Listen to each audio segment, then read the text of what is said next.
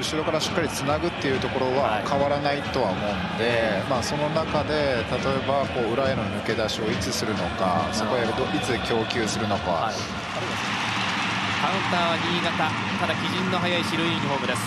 背後を取った。松田。ファーサイドから入ってくる選手は7番の谷口。勝負を仕掛けて左足。松田もこの試合初めてのシュートになりました。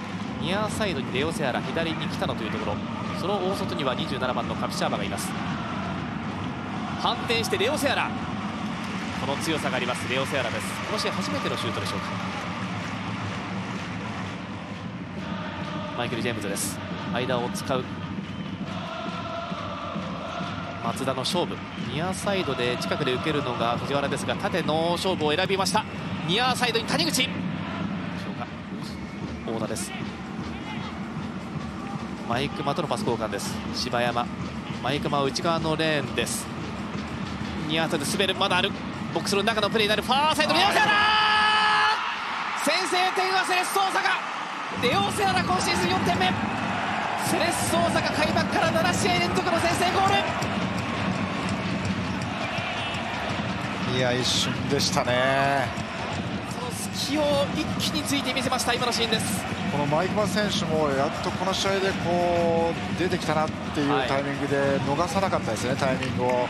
この一発目で上げないで左足でこう柔らかく上げてるんですけど、うん、これもやっぱレオ・セアラ選手のヘディングの強さもあって、この速すぎないボール競り勝てるボールっていうのも選んでると思うんですよね。はいこれぞそのマイクマ選手も攻撃のスイッチですね、キュッと上がってくる、逃さなかったですから、まあ、さすが最後は本当さすがのヘディングシュートですよね。サイドをうまくケアしながらレオ・セアラです。そして右左と相手陣に入ってきて右のルーカス・ベレナンデス。抜ける。ルーカス・ベレナンデス！長谷川元樹ファーサイドにまだ選手がいます秋山です。上げてきてマイケル・ジェームズの前先に触ったのは27番の長倉ということになりました。上条が陣地を回復する相手の味方の上がりを待ちます。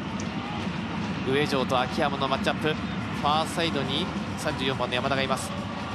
いや上が吹かれてセレッソボールです。素晴らしいプレーですね、えー、この時間帯であそこまで持ち込んでファールをもらうということもチーム助けますし、えー、まあ、途中から入ってますけどね。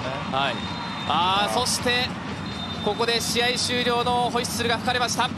セレッソ大阪2試合ぶりの勝利。早くも今シーズン4勝目